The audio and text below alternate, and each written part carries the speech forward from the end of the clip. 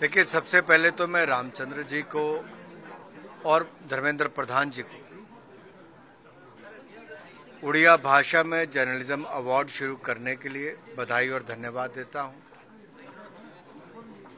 और 26 साल पहले ये मुहिम शुरू की गई। 26 साल लंबा कोई भी कार्यक्रम चले, अपने आप में दिखाता है कि उसकी सफलता क्या है और उसको कितने लोगों ने पसंद किया है।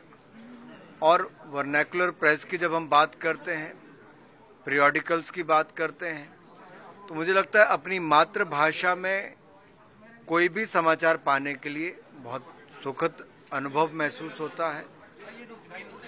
वहीं दूसरी ओर उड़िया भाषा मीठी तो है ही। यहाँ का साहित्य और इतिहास भी बहुत पुराना है जिसपे हर किसी को गर्व होना चाहिए। और उड़िया समाज से जुड़े हुए सभी पत्रकार, उनमें से कुछ लोगों ने जो बहुत शानदार काम किया है उनको आज सम्मानित किया गया। ये अपने आप में मैं सभी उन पत्रकार बंधुओं को बधाई भी देता हूँ। लेकिन सबसे बड़ी बात यह है